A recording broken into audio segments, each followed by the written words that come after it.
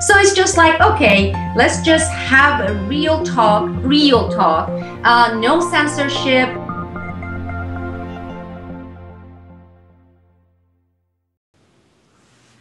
Welcome to BFP Roundtable, the new video podcast series from BoilingFrogsPost.com.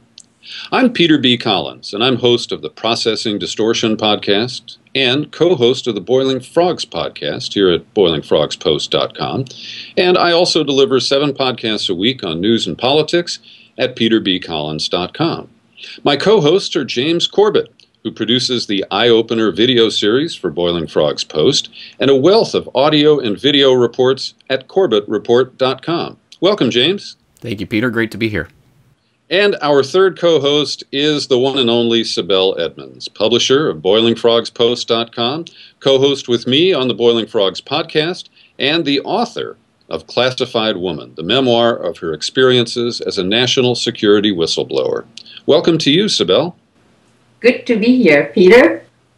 Now, this is our pilot show. Our aim in general is to share important stories that each of us has recently reported and add the views and knowledge of our colleagues here. Sibel, why don't you tell our viewers what your vision is for this new series?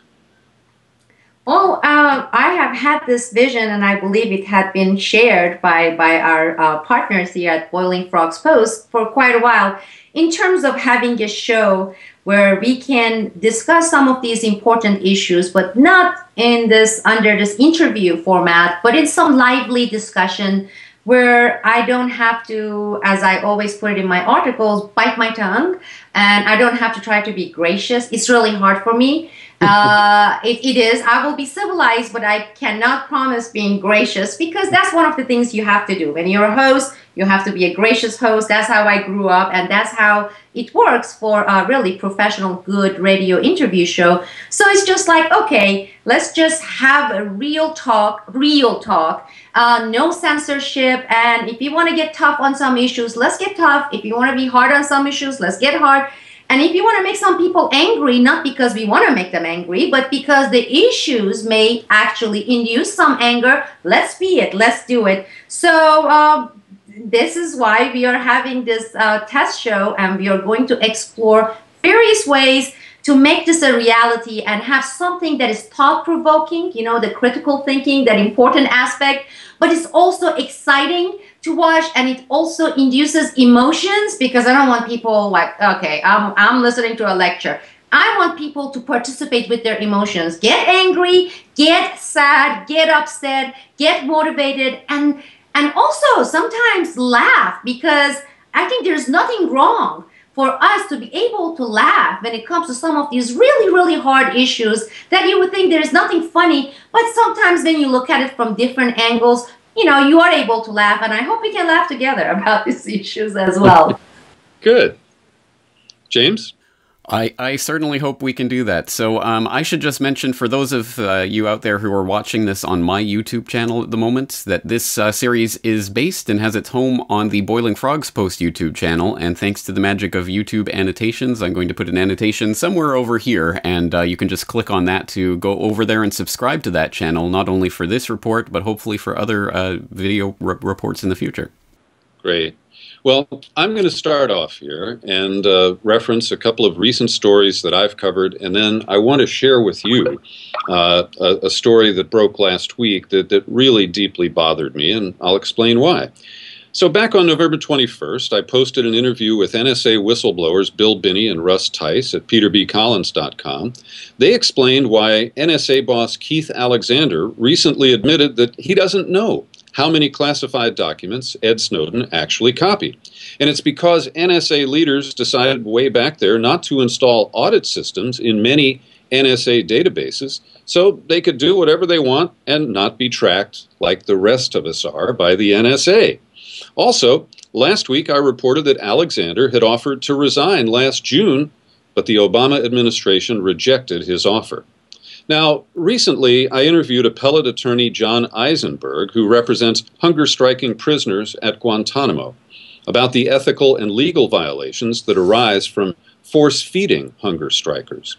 And in my most recent Processing Distortion podcast, I offered critical commentary on a recent 60 Minutes report about Gitmo, where reporter Lesley Stahl eh, showed stunning ignorance. She didn't even know who Shaker Aamer is, one of the best known prisoners there, until he shouted at her from his cell while she was walking through the cell block with the warden.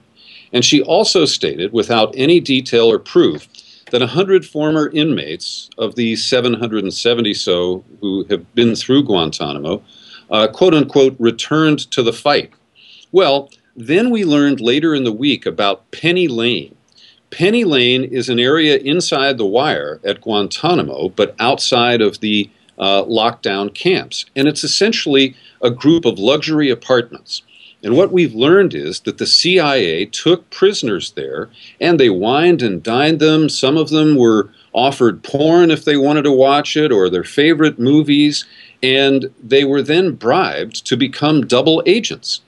And when they left Penny Lane, many of them were given, we think, millions of dollars and told to infiltrate Al Qaeda and then report back to CIA minders.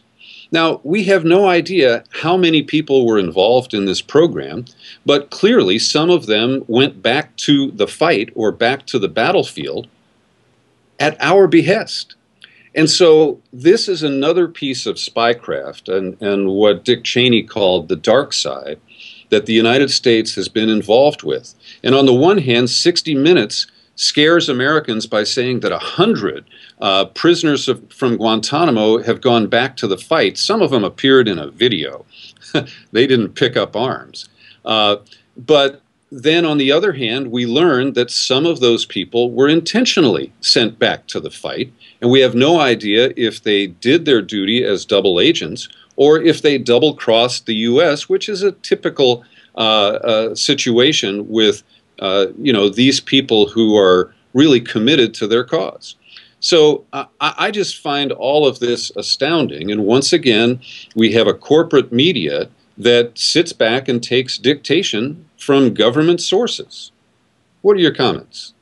Well, if I may, first of all, let me just give kudos to you for that podcast. You did an excellent job, I think, dissecting that uh, that Stahl piece. And as one of the commenters on Boiling Frogs noted, it's almost like a People magazine piece or something. It was just really quite fluff um, quite quite disgusting to see that from supposedly one of the premier news organizations in, in the United States, uh, quote unquote. Um, but I think you give Lesley Stahl too much credit. I, I don't think she was actually ignorant of uh, Shaker Aamer. I think it was just a, the, the type of um, uh, faking it that uh, that you do for a report in order to introduce the idea to the audience. I I, I, I think she was uh, fully aware of, of who he was and what was happening. It was just kind of that, that thing that you do to to uh, to kind of lead the audience into the, the story. But, a uh, theatrical uh, device. That's interesting. Yeah. I hadn't thought of that, James. Well, that that's my take on it. But at, at either way, I think it's pretty disgusting the way they presented it, and it really was like they were presenting it to a bunch of kindergartners. So it was it was quite insulting to my intelligence and probably to a lot the intelligence of a lot of the listeners out there. And Sibel? No, no, I, I agree with James. Uh, I was interviewed by 60 Minutes in 2002. It was Ed Bradley. And Ed Bradley was just that. He was the person, the front there, who sat with me. And he seemed like a kind of a nice person. He seemed genuinely, it was not, I don't think it was an act, really interested. He did a very good job. I had a about 90 minute session with him and he did what he was supposed to do. He filmed, he knew he had prepared the stuff. That was when his role was done. Then that film had to be sent to the edit room, and then you had the editors, and then you had the management, and then you had CBS 60 Minutes own legal team because they have a big legal team. So they were the ones who sat there and decided which names to take out of that interview and how and you know in what way to really condense it and have that semi fluff piece that really made me look like this demure victim. And i still end up being disappointment to a lot of people. And, and, and again maybe we'll go back to it at the end of this show if we have time a lot of people, and, and sometimes it even happens with my book, they read it and they expect someone who's truly victimized and very demure, and they fired her, and she's petite and she's so cute, and she has this cute accent, And that's basic. I got marriage offers, even though I, I've been married for 22 years. That's what CBS 60 Minutes accomplished. Now, they didn't lie, but what they did was they selected what they wanted to select and they put it out there. And I don't think Ed Bradley had anything to do, you know, with, with that process. And with well, this lady, I haven't had mainstream media channels since 2002. So I don't have CBS or any of those channels. I think she's like the rest of them. You have a group that are kind of bimbo or dumb, or then you have these people who say, guess what? My bosses decide, and my bosses' bosses, they decide what's going to be aired. But it was well, a great show. It was an excellent show, Peter. A couple of things. One is that I did mention in the Processing Distortion podcast about your experience and other whistleblowers who tell a full story, and then 60 Minutes selects just parts of it that pass muster with the lawyers, that don't offend the government too much, that won't limit their access in the future. And I worked for CBS in Chicago and in San Francisco, and I can tell you that the lawyers run that company. Uh, nothing happens without approval from the legal department.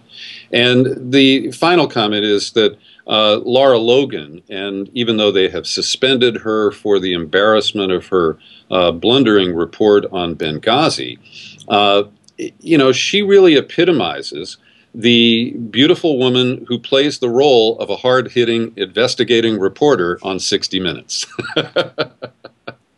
Sibel, let's turn to you next. What's been on your mind and on your agenda recently? Oh, so many things. So many things, Peter. And that's the whole thing. And I'm also going to watch to see if I get any signal because you know me. Once I start talking, I go yak, yak, yak, and it goes on forever. But one of the most important issues that I have been uh, working on, reading, and talking to people both outside the country, for example, in Iran, and also here, has to do with Iran and what has been happening with Iran.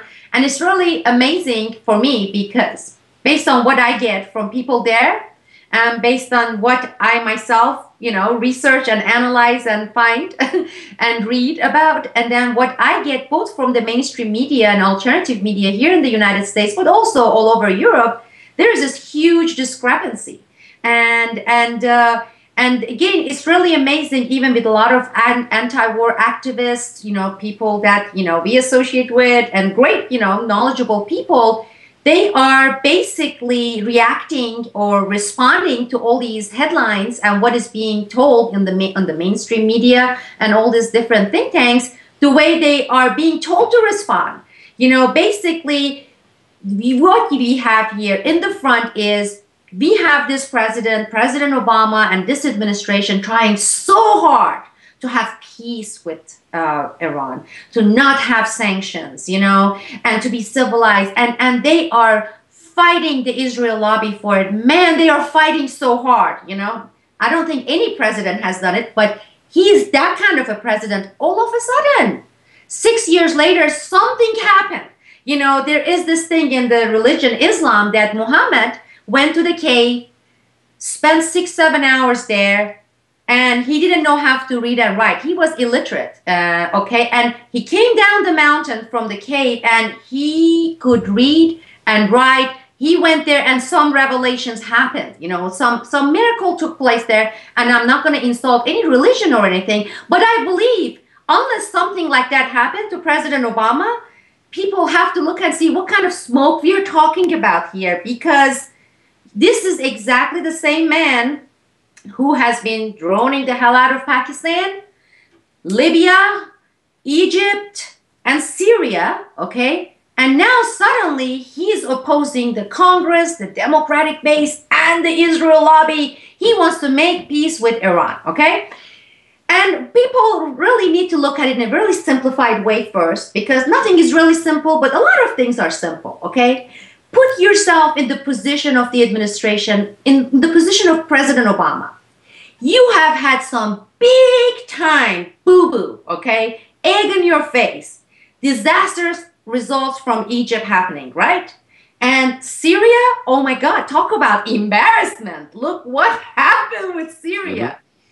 So let's say you have been working with these people, Rice and all these people, and you say, uh oh, it's time to bring the old guys back. So you bring either Kissinger or Brzezinski and say, how the how am I to get out of this crap? What am I to do? You guys tell me. And they say, you need to go at this through the back door. That's what they've always done. That is the grand chess game and how you sneakily do what you want to do, which is being the hawk, have the war with Iran.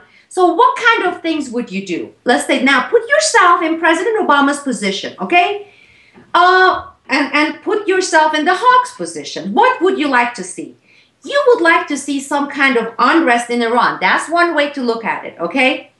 Because who leaked the fact that there has been these secret meetings between the United States and Iranian, you know, president and the, the administration there? It's, it's the administration who has been reporting this secret if it's secret, you know, they would be right now going to court, you know, like James Risen and, and Snowden. Who the hell leaked these important things? We are trying oh, to make you, peace You know, official, official leaks are okay.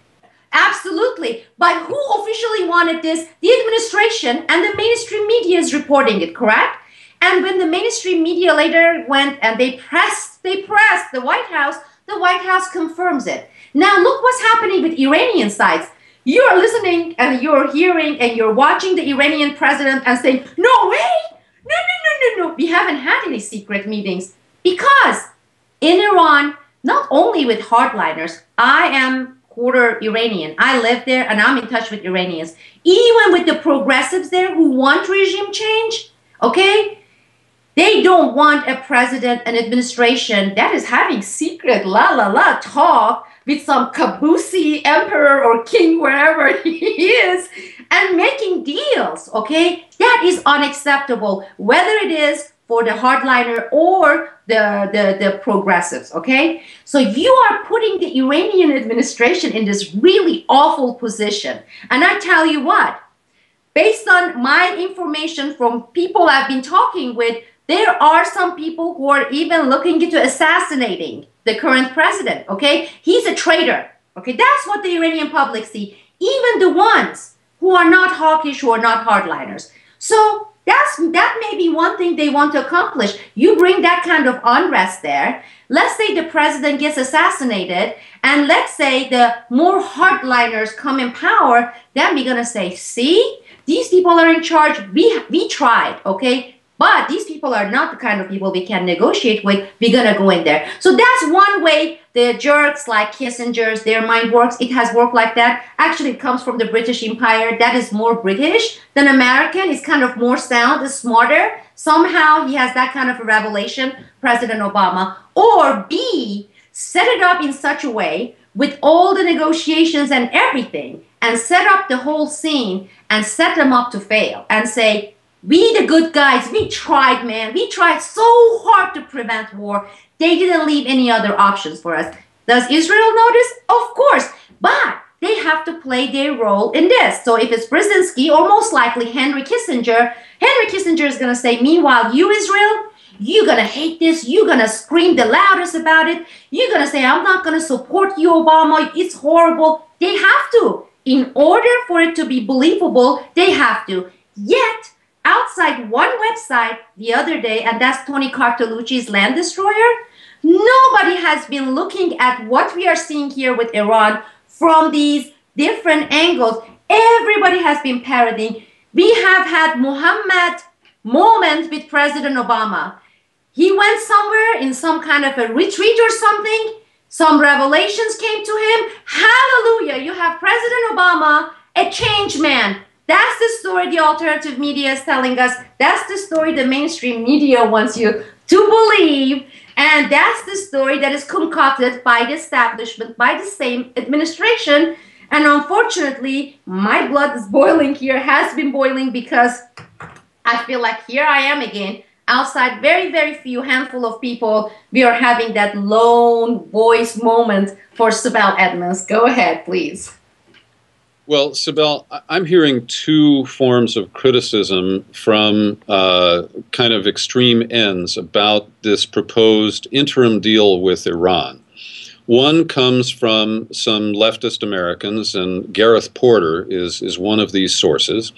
And he analyzes this and thinks that this is theater and that um, Obama wants to go through the motions uh, as a peacemaker here, as, as you're suggesting.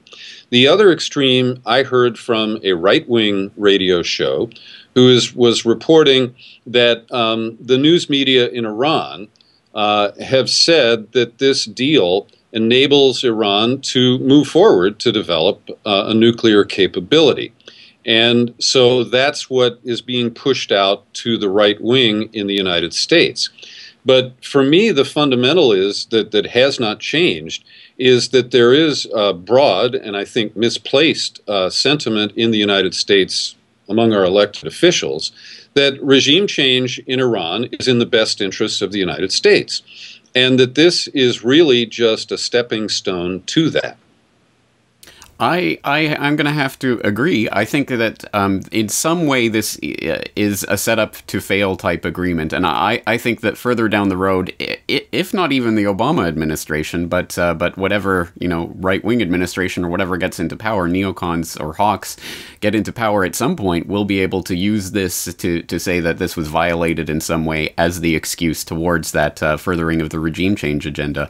So I, I think that there it, there's definitely something underneath the surface here this isn't a straightforward narrative of peace and happiness, and uh, and uh, I'm I'm certainly keeping my eye on Israel in this because obviously the um, the the way that they react to this is going to uh, tell a lot about the way that this will be accepted or not. And and my money, unfortunately, on the long term is that this will will fall apart at some point. Mm-hmm. I, I I think you know the prospects are very strong in in that direction and this is the script that even though Israel is acting uh, offended and working to uh, you know activate AIPAC and all the allies in the United States that, about this awful, awful deal.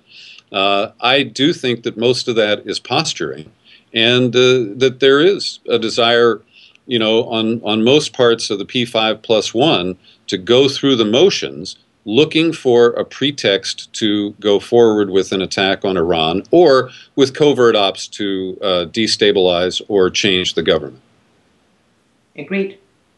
No, absolutely. And and we are seeing this, but as I said, out there currently we are having this uh, from the from the opposite uh, party, from the Republicans, that how he's doing it and making a pact with evil. Of course, you can't trust Iranians and everything. From the left, what I hear, you know, he's a he's a man of peace. Now you see he deserved that Nobel Peace Prize. You see that? You guys were all jumping in judgment. So what? He killed millions of people or hundreds of thousands of people. Who? So what if he went and waged declared or undeclared wars six, seven, or eight, or ten times and a bunch of covert wars around?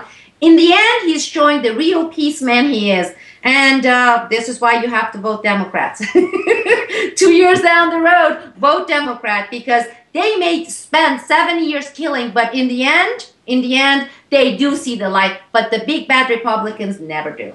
Go ahead, please. All right. Well, now let's shift to James. And James, you recently went to France to a conference. Tell us about this. That's right. So uh, hopefully my listeners know by now, but for those out there who don't, I was recently in Lille, France, um, to attend a conference that was put on by INRIA, which is a, a, uh, technical institute, a research institute there in France. They have several locations, one of which is in Lille. And every year they put on an open source software conference called FOSSA. So I was attending FOSSA 2013 as a uh, guest speaker. Um, and I was delivering a keynote address on open source journalism. This is uh, the fascinating part of this FOSSA conference. Um, open source software, of course, is, is something that I'm sure many people are familiar with. The idea that uh, there's uh, software that's that's made so that the code is open and uh, and people can can uh, work on it and offer suggestions for changes and can can become part of a community of users rather than simply recept- sort of recipients of, of a piece of software. They can become actively a part of the community creating that software. It's a it, it's a, a, a really a, a, quite a revolutionary way of looking at how to create a, a product in uh, and and really goes against the ways that uh, of course we've we've uh, come to understand the the manufacture and and uh, and selling of, of products um, in in uh, in our everyday life. So it is a, it, it's a very interesting thing, but it's usually confined to that box of talking about software and talking about code. But FOSSA is uh, every year trying to expand the definition and trying to expand the way that people look at the idea of open source and open source communities. So this year they had some speakers talking about open source art. Uh, they had Tom Secker there, my uh, my friend and someone that I've interviewed many times, uh, talking about open source intelligence, and I was there talking about open source journalism. So uh, so it was a really interesting conference. A lot of mixture of ideas, lots of really interesting and innovative uh, uh, sort of projects that people are working on that I, I heard about. Of course, I highlighted um, Jan Wildeboer and his work on uh, Freedentity um, uh, in the eye opener this week. So that that was an interesting thing I learned about. Also, open source vehicle. They're building a, a car that's completely open source. You can download the uh, the blueprint and and manufacture it yourself. Um, in fact, they've even put it together in 41 minutes using two people um, before. That's their record. So it's just, I mean, it's just fascinating the things that are going on. But something that struck me while I was there and and being part of this was, sort of a renewing of my own sense of open source um, as an important fundamental tenet of the work that I'm doing, and and I'm sure people um, who follow my work know that I do make all of my content freely available. I also um, uh, make it so that uh, there's always a documentation list. I always try to cite all the sources that I that I talk about because that's a fundamental part of the project that I'm doing. I'm I'm not here on high delivering any sort of message um, from the clouds. I'm here as part of a conversation, what I view as a conversation, and I don't view my listeners as passive receptacles. I think that they're they're an active part of the community that hopefully will start to further the uh, the information itself and, and our understanding of it. But on that note, um, this BFP roundtable is supposed to bring up some controversial subjects. So um, today I wanted to really press this issue about open source because this is really this conference has really renewed my my commitment to that. And uh, it's something that I've always thought about with regards to to Boiling Frogs Post and my work with the Eye Opener report and the fact that this is um, this is not open to everyone for the first three weeks of the Eye Opener report. And I understand why you do this because obviously you are running a site where you ha- now have several contributors um, absolutely top class quality contributors like Peter and Guillermo and uh, Andrew Andrew Gavin Marshall, and just everyone at the Boiling Frogs Post site putting out just incredible work, and you want to keep this going. And how do we do this without money? Um, that's the always the, the million dollar question. Um, and and so what I am going to propose right here on air, I am going to say that uh, uh, I'm going to put my money where my mouth is. I am willing to do the eye opener report 100% for free. I don't want to accept a cent from Boiling Frogs Post if we make it 100% open on YouTube. I think that's a, that's a great proposal. And I think this is another opportunity to see. I mean, this is very similar to the, you know, the, what you said, the crowdsourcing and and try trying everything we can to offer top-notch, top quality shows, whether it's podcast shows or videos or articles or investigative reports, and have people do it voluntarily. And this is a good opportunity for me to actually go on record here and say, that's exactly what I tried to do for two and a half, three years. This website was saying, okay, all contributions are voluntary, okay? And you basically, do you enjoy this? You come and visit. Do you believe this is a worthwhile cause, what we are reporting or what we are bringing to you? And if yes, do make your contribution, whether it's a $5 contribution, whether it's $1,000 contribution, because we take this and then we share it with people who are spending the time because it does take time and and and we'll make it free to all. And i came every three months out there begging people and it's not begging for me it's begging for all of us at boiling frogs post to say support us contribute. Do please do your share however little it is if you can. There are some people who really really can but i don't believe most people are in that position or even half of those people are in that position. So but it did not become successful. But not only that it, we didn't even raise one i would say 10% of what we were looking for. So that was when i had to stop and say I either go and get a full time job, okay, and this is what I was doing contract translation work, and I, I won't do this, or I do it part time and get a part time contract job, and then see if I can convince our other partners to do that. Well, that didn't go a long way either because I know currently some people who can really do a lot of great work but unfortunately, they have to commute one and a half, two hours a day. They have to spend eight hours time at work. They come home and guess what? They have spouses, they have children or a child, and they have their own health issues. So we are not looking these people who don't have marriage and children. We have to eat, we have to have roof over our head. Well, it has to come from somewhere. So the choice for me was not whether I offer it, we offer it for free or we do a subscription. It, the choice was do we offer it to people or not? Because either we have to go and work and eat, and there won't be time to produce this quality stuff.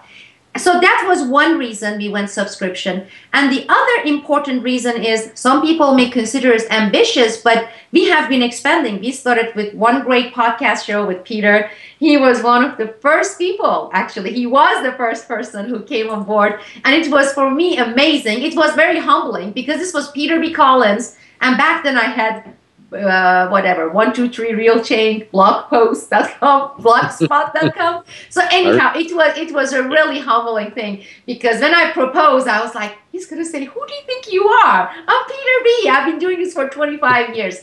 Anyhow, and then we added video and then more podcasts, editorial cartoons, etc. But that's not it. I want to have for us, Boiling Frogs Post, I want to have solid investigative reporters I want people on the ground in Afghanistan. There was a report about this uh, toddler girl who was killed by Obama's drone, by our government's drone. There are there's no picture of it, okay? I want a picture of that. Because we saw those pictures during the Vietnam War and those were effective. We don't get to see those pictures. We don't get to see the pictures of drone victims or maybe a few of those pop up in some alternative sites. We don't have a way to establish is it real? Is it authentic? Sometimes I'm afraid to put it out there because somebody's going to say maybe it's fake. So I have to be able to rely on that. I want to have for us photographers on the ground and compensate those people and get those photographs. I want to have our own investigative reporters. There are so many scandals. I get so many emails from people who want to be whistleblowers or they are, but I don't have the time single-handedly to vet them, to cover those. Well, how can I get some people that I trust? Sure, I get emails from people say, I would like to volunteer, but I'm like, huh, is he Mossad or is he CIA? Or is cook who wants to come and penetrate my website?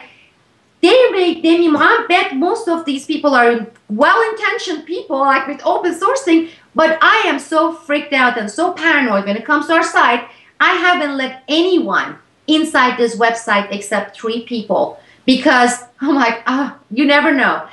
Therefore, to have those stuff, we really need to have not only resources but dependable resources. If I go and tell Mr. X, quit your job, come and work with us, with us, for us, Boiling Frogs Post for the people, and I will compensate you. And he does quit his job, and he or she has a spouse and children. And three months later, I say, oops, we were not able to raise this amount, therefore I can't pay you. I can't take a chance with people's life. I'm sorry. Maybe some people are willing to do that. I can't. This is the reason for subscription. I hate dealing with this software. I hate having it. I want to have 150,000 people watching Corbett Show or listening to Peter B. Collins. I want 1,500,000. I want 150 million. I don't want only three or 4,000 people. But it takes two. It takes us and it takes you. And as when we get that, if you put some kind of a measure out there, say, okay, we reach that, that's crowdsourcing, crowdfunding. If we get that, uh, if we are set for a year so we can promise these people and deliver, then absolutely everything will be free at Boiling Frogs Post. We haven't been at that point. Peter. Well, let me add a few things because I've been running my podcast for four years and it, it's difficult it's difficult to keep it viable and to cover my expenses. Uh, I don't get paid uh, really more than 12 cents an hour for the podcasts that I do. And I support myself by working as a media consultant. So I'm able to make that work. And so at my site, I have kind of split the, uh, the model. And I release in depth interviews only to subscribers for the first two weeks but I do a daily news and comment podcast that is always free. And so I am working both sides of the street, James, to uh, try to find the sweet spot. Uh, and to me, uh, I don't know if you're familiar with reader supported news, but Marc Ash, who had previously run truthout.org, has that service. And he goes to a low point uh, in his fundraising drives where he kind of acts like they're about to pull the plug, they're about to go out of business. Uh, and he, he shames people into supporting the work. I, I don't believe in that. I try to use uh, an inclusive model by thanking the people who helped me uh, and hope that other people say, oh, I could do that too. Uh, but I did find when I was purely on a voluntary basis that people just don't find that compelling. And not everybody will respond to the offer to voluntarily support an effort like this. So uh, I appreciate the challenge. I also respect, James, uh, your position, and I hope that long term that is viable. Uh, but in the meantime, I do think Sibel has important points there that she's made commitments to people to pay them for quality work, and that's what makes the site valuable and brings people to read it. And so I think this is one way to educate our listeners and viewers uh, about the choices that we make. And we all, I, I, think it's very clear, we'd all prefer to never have to use subscriptions or, or cordon off content with a paywall. Uh, but we are trying to find our way also without taking foundation money or corporate sponsorship. I don't run Google Ads on my site. I could make a few hundred bucks a month doing that if I did, but I, I would end up having uh, ugly ads for things that I don't approve of on my site. And so the, these are the ways we try to navigate in this uh, wild, wild new world. Well, I, I hear what both of you are saying, and I, that's why I don't think that this is a decision that I could make for anyone else. But I think for myself personally, I'm going to um, put the, my money where my mouth is, and uh, and it is a grand experiment. And I have a roof to keep over my head and food to keep on my child's table. So it is perhaps reckless and wanton of me to do this, but I am willing to donate my time to Boiling Frogs in order to make this happen because I do feel strongly and passionately about this. And I have been blessed with a listening audience that does support me to a large extent with uh, subscriptions, um, for which basically all they get is a newsletter. So it isn't uh, it isn't much that I actually provide for that, and and I am absolutely blessed to be in that position to have listeners like that. So I want to to try to give back whatever I can to those people and uh, and to ask them to support Boiling Frogs Post, um, not because they are going to get something out of it um, in the in the content sense, but because uh, they they actually enjoy the, the, the the information, they actually appreciate what's coming out of there. So I'm I'm willing to put my money where my mouth is, and if uh, if you approve, I will donate my time to Boiling Frogs in order to keep the eye opener open. Absolutely, and I think I think that's fantastic. I wish we could have more opportunities like that, but as you said the other very important point that I'm going to briefly mention is the difference between, and, and I have been saying that, you know, Peter mentioned this about having all these different people that you can say, you know, you can go quit your work and, and come and do this stuff. This is more important considering where we are with the country. Uh, whenever I go and whether it's a little lecture series or a book club or the or the speech, etc., people people are like, where should I go? To get my news for alternative media? And it's such a difficult question to answer because I'm doing this nightly news for Boiling Frogs Post five nights a week.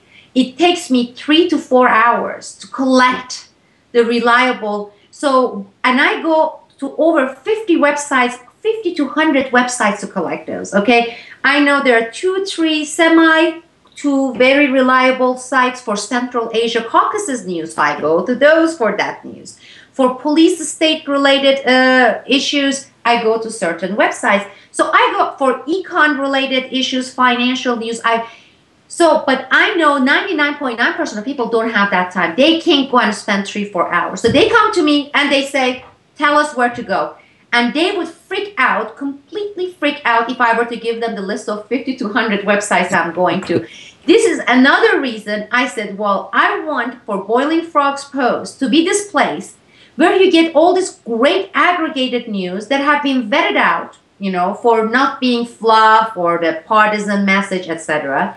You get five, six, seven great podcast shows from different philosophical point different political stand, whether it's libertarian leaning or left leaning or right leaning, have that. To have great investigative video reports, editorial cartoons, commentaries, ed- all those things. So at least I can tell people maybe they can go to two or three websites because how many people can spend four hours, navigate the site, research? They want easy answer. This, I'm not saying Boiling Frogs Post, it is currently. I'm aiming to be maybe one of very few sites that those people who don't want foundations, they don't want Omidyar backed, eBay corporation backed, fluff, quasi alternative, if they don't want political, there is there are these people who know well okay all those but where do i go? And don't tell me Sibel to go to 100 websites. So that is where we want to head. And that's ambitious yes.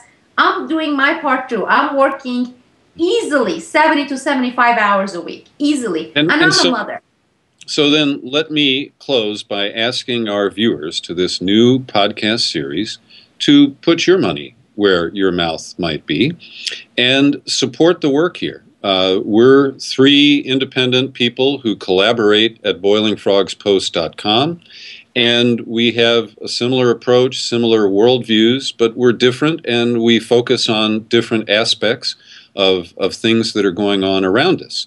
And so we invite you to support our work uh, individually or at boilingfrogspost.com because that is the way that we can continue to do this. And your financial support is also an important kind of validation because it shows that you see a value in what we're doing. And uh, so, even, you know, I, I value the people who take out a 24 hour pass at my site for a dollar because it shows that they were motivated, they wanted to uh, share in the content that was made available that way. So uh, I appreciate, James, your uh, introduction to this subject, and I'm glad that we aired it out for the supporters and the users of boilingfrogspost.com. So thank you all for joining us for the first episode of BFP Roundtable, and we will be joining you again very soon with another episode right here at boilingfrogspost.com. James, Sibel, it's been grand.